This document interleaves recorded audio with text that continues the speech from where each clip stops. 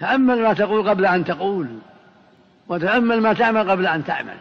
فإن كان القول طيبا نافعا أو مباحا عند الحاجة إليه فقل وإلا فأمسك. يقول النبي صلى الله عليه وسلم في الحديث الصحيح إن العبد ليتكلم من كلمة من سخط الله ما يتبين فيها يعني ما يتثبت فيها. يكتب الله له بها سخطه إلى يوم يلقاه وفي اللفظ الآخر إن العبد يتكلم من كلمة ما يتبين فيها يزل بها في النار أبعد مما بين المشرق والمغرب. فالأمر عظيم.